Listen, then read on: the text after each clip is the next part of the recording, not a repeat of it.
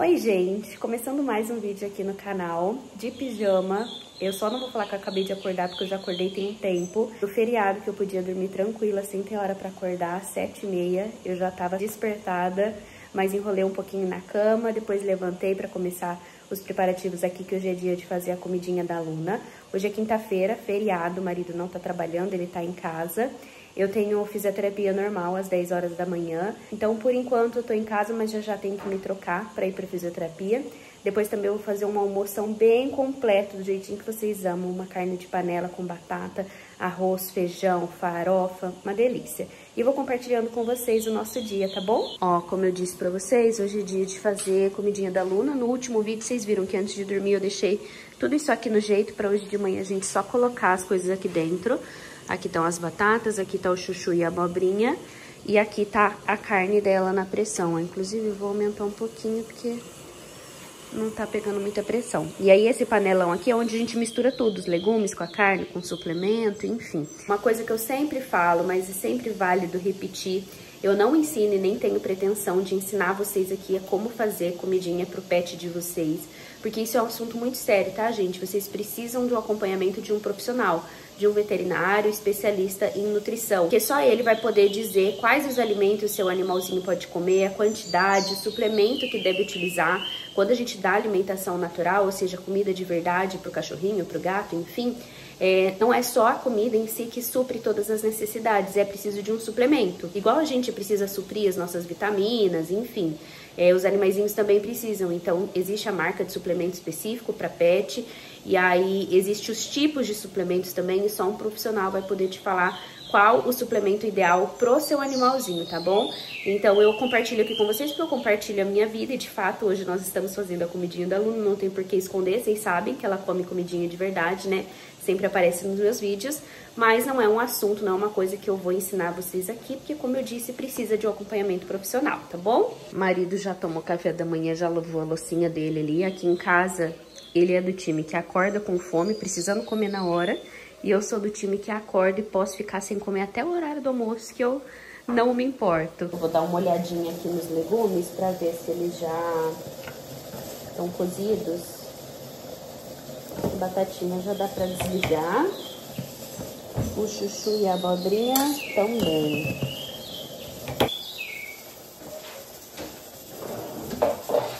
Agora que a carne começou a pegar pressão de fato, os legumes aqui eu já desliguei.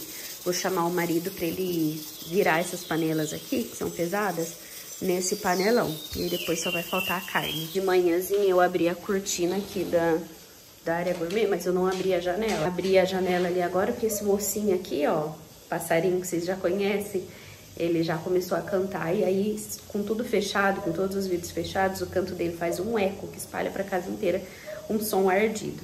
Aí a gente sempre abre aqui por aqui continua um friozinho, mas hoje tá mais quente que os outros dias, viu? Até olhei aqui, tá 13 graus hoje. Tá fresquinho, mas não tá o mesmo frio que tava ontem. Ontem tava demais. E o dia tá lindo, deixa eu mostrar pra vocês. Ah, eu já mostrei, mais cedo teve um take aí, deu abrindo a janela aqui, né? Olha isso, que céu maravilhoso, gente. Meu Deus.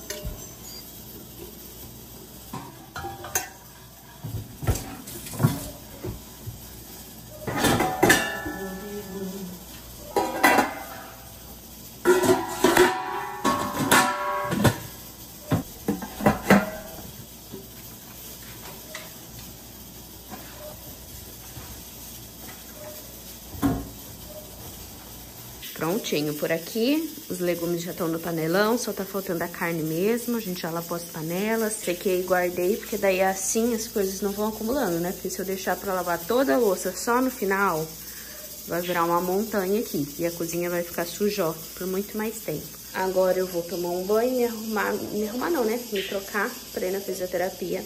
Eu até pensei em desmarcar, gente, por ser feriado, pra eu ficar em casa tranquila com o marido, mas eu tô com muita dor nas costas, no pescoço, enfim, eu tô precisando mesmo. Aí eu vou, mesmo sendo no feriado. Mas o nosso quarto hoje vai ficar nesse mood, ó. Não arrumei a cama, eu só estiquei a coxa, né? Normalmente a gente coloca essa mantinha aqui só na hora de dormir. Depois eu tiro, dobro ela, coloco ali embaixo e deixo a coxa ajeitadinha. Mas eu só estiquei assim mesmo, não vou nem erguer a persiana Porque a hora que eu voltar da fisioterapia, eu vou fazer almoço e tudo. Depois do almoço, gente, eu quero entrar nessa cama. Quero assistir filme, quero ficar por aqui, sabe? Descansar mesmo. Já tô em casa de volta, a carne da Luninha já ficou pronta, o marido despejou aqui. E também já lavou a panela de pressão que eu vou usar agora pra fazer a carne de panela com batata, que eu falei pra vocês que vai ser o nosso almoço. Além disso, vou fazer também arroz e feijão. Já coloquei água ali no caneco pra ferver, ó, tanto pra usar na carne quanto no arroz. Bora começar o preparativo desse almoço. Gente, vocês ignoram, meu cabelo tá super, hiper, mega oleoso, é que eu não lavei ontem justamente porque eu tinha fisioterapia hoje, daí acaba sujando com o óleo que ela usa pra fazer massagem aqui no pescoço, ela solta aqui o rosto também. Mas enfim, depois do almoço eu vou tomar um banho e lavar o cabelo. Agora já são 11 e pouquinho, 11 h 20, amor? 11 h 10, 11 h 20, 11 h 15. E aí já vou começar os preparativos aqui pra gente almoçar perto do meio-dia, né? Aqui na panela de pressão eu vou fazer a carne com a batata. Aí o arroz eu vou fazer nessa outra panela, por aqui atrás. Que eu vou fazer mais arroz pra sobrar pro jantar. Porque a carne com certeza vai sobrar, aí já sobra arrozinho e feijão também. E o feijão eu vou refogar nessa panelinha aqui.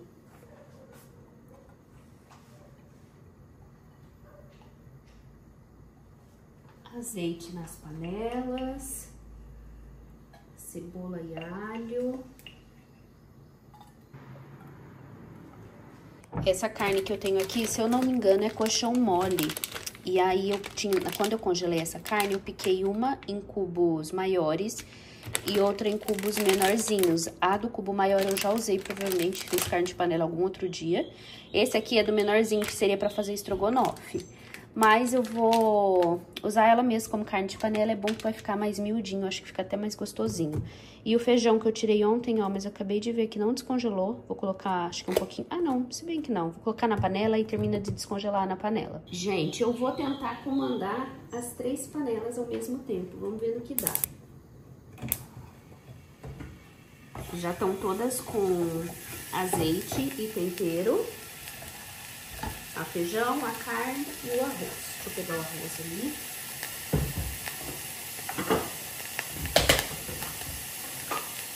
Nossa, essa panelinha aqui é a mais fininha.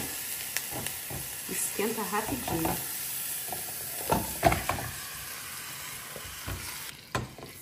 Vou colocar um pouquinho de água para pegar o fundinho dessa, do feijão.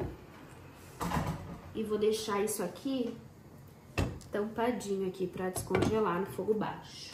O ambiente aqui tá meio congestionado, porque tá panela da comida da aluna, tampa de panela, arroz, enfim.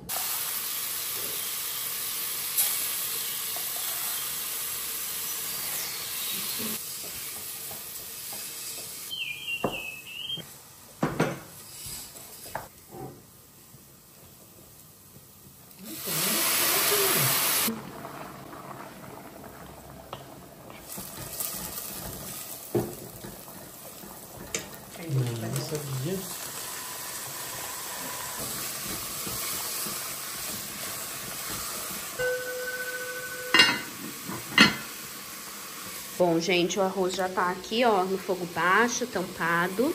Acabei de colocar a carne. Cebola e o alho tava bem douradinho já. Entrei com a carne, agora eu vou esperar ela dar uma fritadinha pra entrar com os, os temperos aqui, ó. Páprica defumada, coloral é, pimenta caiena, vou colocar sal e pimenta do reino também. O feijão segue aqui, ó, vou deixar ferver para descongelar, depois engrossar o caldinho também. E enquanto isso, eu vou descascar e picar essas três batatinhas aqui para colocar junto com a carne.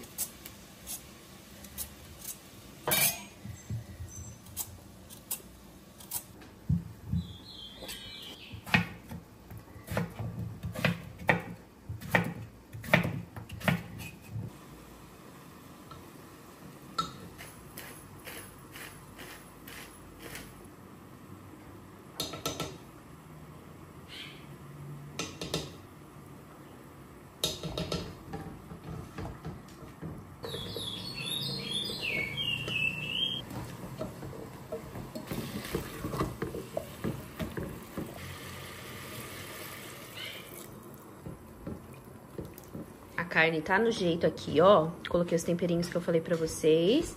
A batata.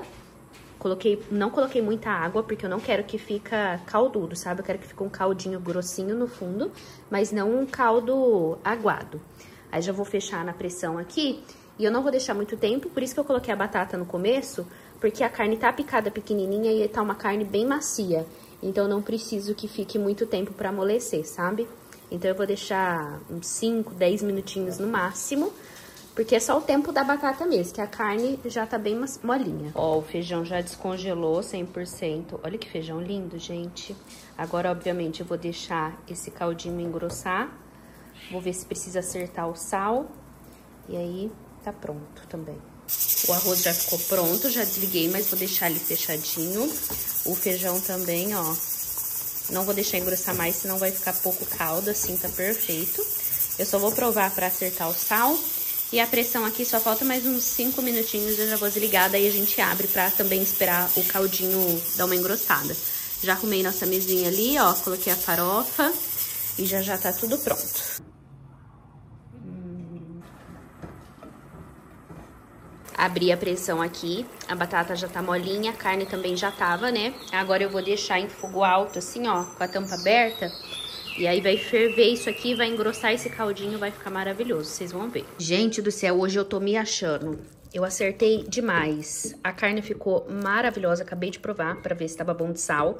Ó, tá vendo? Esse caldinho grossinho que eu falei pra vocês que eu gosto de deixar no fundo.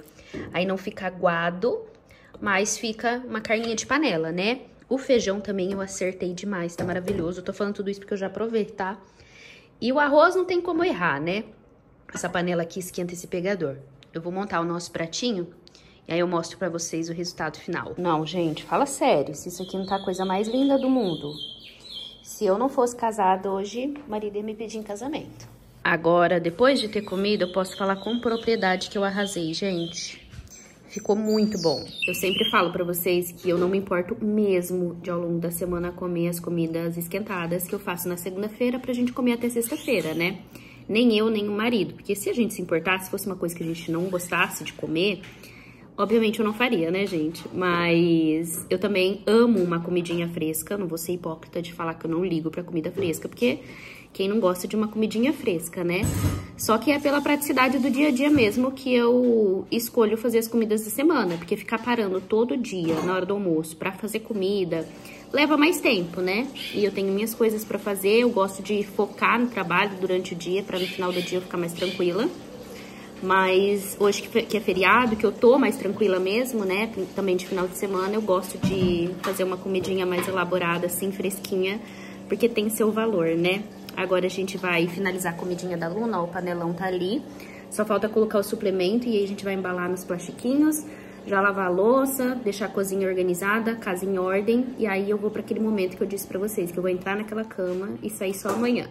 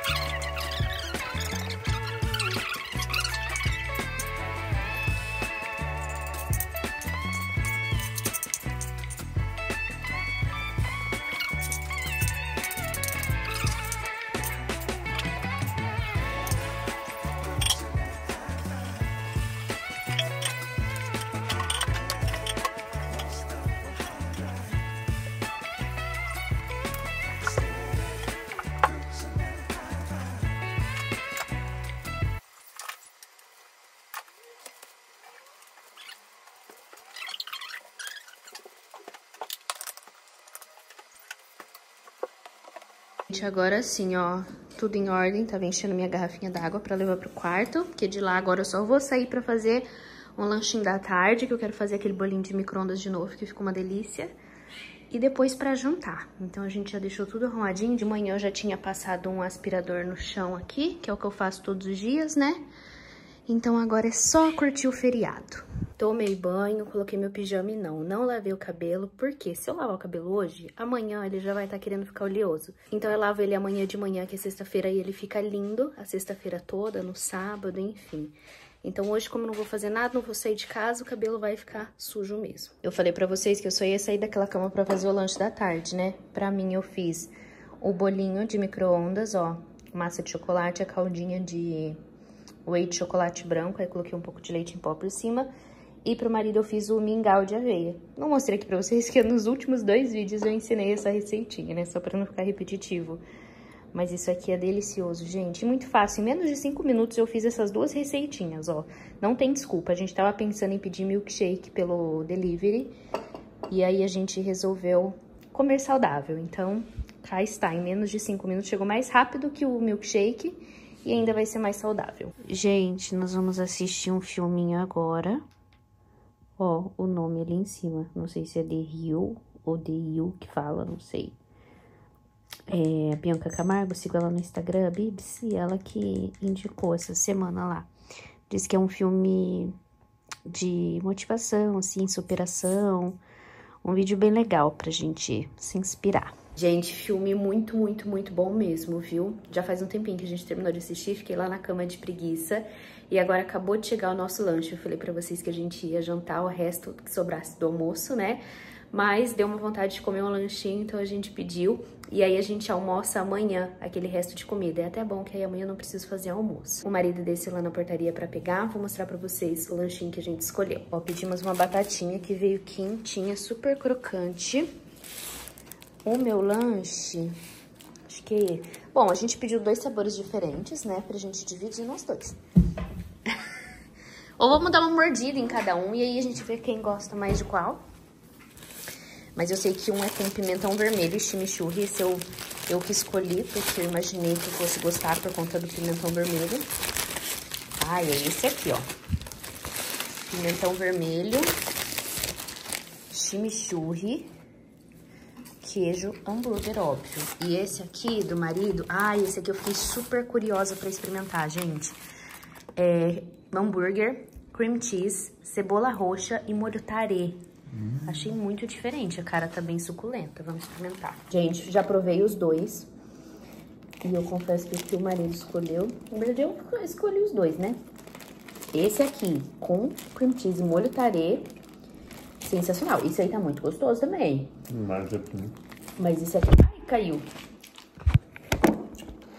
Mas esse aqui tá muito melhor, hein? E a batatinha tá muito boa.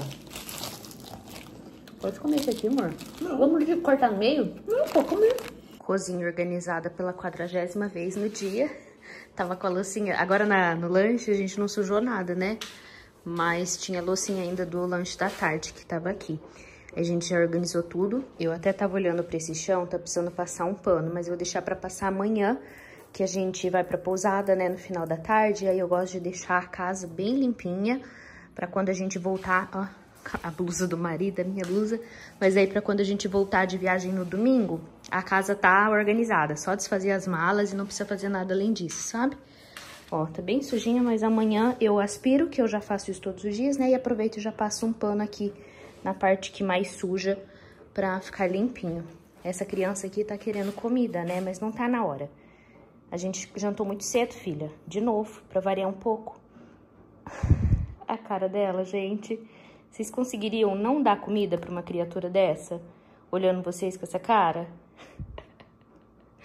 Ai, eu não te aguento, menina. Eu não aguento você. Não aguento, não. Você é muito fofa, cara. A máquina tá aqui funcionando porque eu tô lavando uma, uma cobertinha que a gente tava usando pro sofá na semana passada. E ainda tem a minha aqui, ó, que a gente tava usando na cama também na semana passada. Aí já coloquei aqui, coloquei no ciclo de secar, obviamente, como vocês podem ver ali pelo tempo da máquina. Porque com esse tempinho que tá aqui, a coberta é mais difícil ainda de secar, né? E aí depois vou recolher essa mantinha e colocar a outra. E é isso, gente. Esse foi o nosso feriado. Eu espero que vocês tenham gostado de acompanhar. Não teve nada de extraordinário. Um dia comum por aqui, mas eu quis compartilhar com vocês, até porque eu tô me organizando melhor com os conteúdos para não precisar ficar gravando e postando muito em cima da hora. Então, eu espero muito que vocês tenham gostado. Amanhã, como eu disse, inicia um final de semana muito especial. E eu também vou gravar tudo pra vocês, vocês vão assistir no próximo vídeo. Então, quem ainda não for inscrito, já se inscreve pra não perder esses vídeos, tá bom? Não esqueçam também de curtir esse vídeo aqui embaixo.